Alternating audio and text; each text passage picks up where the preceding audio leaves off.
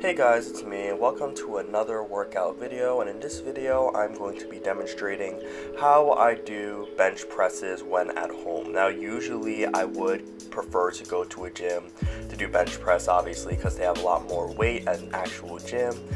But doing this exercise at home sometimes is actually more convenient just because I have a very nice barbell slash dumbbell weight set as you see I am fiddling around with here in the video footage. Um, essentially what I have is two dumbbells connected by a connector bar and when the dumbbells are connected they act as a full barbell. So as you see I'm sitting on a bench so all I really need is this dumbbell barbell set and the bench I'm sitting on to perform the chest presses, um, the bench presses.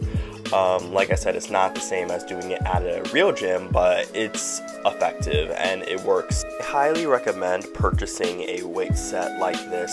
Um, I got mine on Amazon. It's just called an adjustable dumbbell barbell weight set. Um, there are a variety of weight limits.